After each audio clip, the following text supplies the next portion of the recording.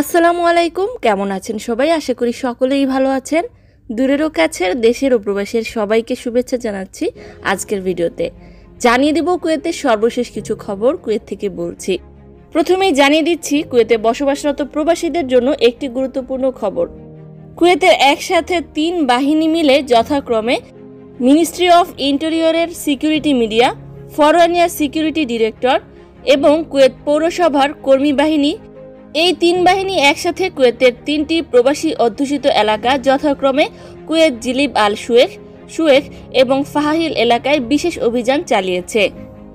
এদের মধ্যে সাধারণ ট্রাফিক বিভাগের প্রযুক্তিগত পরিদর্শন বিভাগ, ট্রাফিক লঙ্ঘন পরিদর্শনের জন্য সুয়েক এবং ফাহিল এলাকায় অভিযান শুরু করেছে, যাদের মধ্যে গাড়ির বিমা ছিল না এমন আইন লঙ্ঘনকারী গাড়ির বিরক্তিকর শব্দ উৎপাদন করে এমন আইন লঙ্ঘনকারী।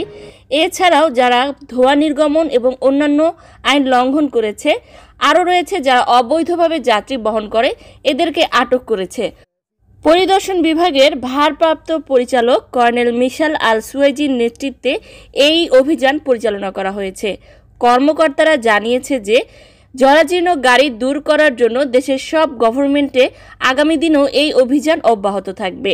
এই অভিযান সম্পর্কে আরও জানানো হয়েছে যে, মাত্র পাঁচ ঘন্টায় প্রায় আটশো ষাট জন আইন লঙ্ঘনকারী পাওয়া গিয়েছে।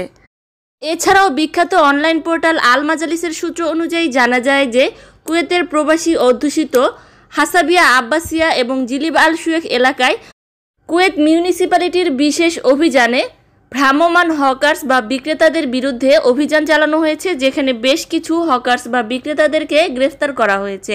যাদের মধ্যে বাংলাদেশি ছিল প্রায় ঊনপঞ্চাশ জন।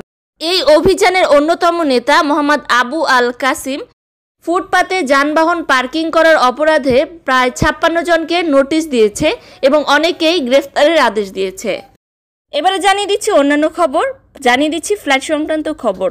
অনেকেই অবগত রয়েছেন বাংলাদেশের সাথে কুয়েতের ইতিমধ্যেই সরাসরি ফ্লাইট শুরু হয়েছে, তবে এখনও বাংলাদেশ বিমান আসেনি।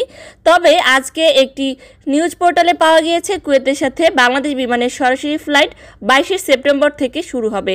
দীর্ঘ প্রতীক্ষার পর অবশেষে Biman Bangladesh airlines Dhaka to Kuwait সরাসরি ফ্লাইট চালু করতে যাচ্ছে। আগামী বাইশে সেপ্টেম্বর ঢাকা থেকে বাংলাদেশ বিমানের প্রথম ফ্লাইট কুয়েতে অবতরণ করবে। এদিকে টিকিটের উচ্চ মূল্য সম্পর্কে সিভিল অ্যাভিয়েশন জানিয়েছে যে, যখন এয়ারপোর্টে যাত্রী ধারণ ক্ষমতা বাড়ানো হবে, তখন ফ্লাইট টিকিটের মূল্য অনেকটাই কমে যাবে, ইনশাআল্লাহ। জানিয়ে দিচ্ছি স্থানীয় কিছু খবর। একটি অনলাইন পোর্টাল থেকে জানা যায় যে, কুয়েতের রেশন, খাদ্য, ভর্তুকি, পণ্য, চাউল ও চিনি কমিয়ে দেওয়ার জন্য যে প্রস্তাব রাখা হয়েছিল, তা প্রত্যাখ্যান করা হয়েছে বলে জানিয়েছে কুয়েতি ইউসিফ আল গারিব এদিকে কুয়েতের হাওয়ালি এলাকায় দশম তলা থেকে একজন প্রবাসী লাফ দিয়ে আত্মহত্যা করেছে। আরও একটি দুর্ঘটনা ঘটেছে আবদুল্লাহ আল মুবারক এলাকায়। আকবর আলম্মাতে প্রকাশিত হয়েছে যে, একজন কুয়েতি সাতাশ বছর বয়সী তার নিজ ঘরে আত্মহত্যা করেছে। এদিকে কুয়েত নিউজের সূত্র অনুযায়ী জানা যায় যে, কুয়েতের শেখ জাবের ব্রিজে ভাসমান রেস্তোরাঁর পরিকল্পনা করছে সরকার। ইতালি ভেনিসের ভাসমান রেস্তোরাঁর মতোই শেখ জাবের কজওয়ে প্রকল্প ভাসমান রেস্তোরাঁ এবং সমুদ্র রেস্তোরাঁর পরিকল্পনা করছে।